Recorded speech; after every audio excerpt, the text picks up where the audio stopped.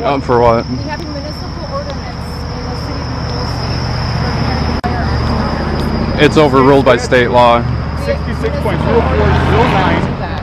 Statute, statute, state statute sixty-six point zero four zero nine, paragraph six. Disorderly conduct or any other I'm not arresting you for disorderly conduct. Would you let me finish? Would you let me finish? I don't appreciate your attitude. I'm asking you to leave the city of New Holstein. You make our citizens feel uncomfortable. That's not our problem. It is my problem, so it's your problem. It's making it my problem, so it's your problem. It is my problem, so it's your problem. It's making it my problem, so it's your problem. You need to leave our city. I am talking to you. Do not walk away from me.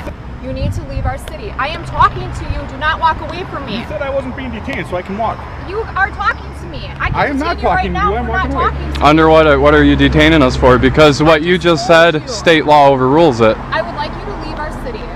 You need to leave our city. This ain't the Wild West. You can't run people out of the city that you don't I'm like. not trying to run you out of the city. That's exactly. You just said that.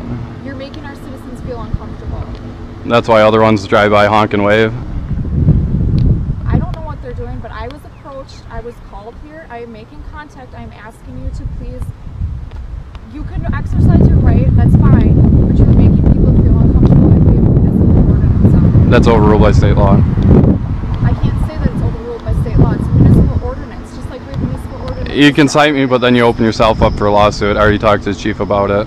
If- fine if you talk to my chief about it. I've also talked to my chief about this. Okay. Because I also know that, you know, he likes to sit around in the backyard talking a lot of shit about, you know, calling names and everything else. So, fine. so he is acting with. Bring it up with my chief, like always. I already did, and you know, he's more concerned about who I talk. What I'm, I'm asking you guys for ID.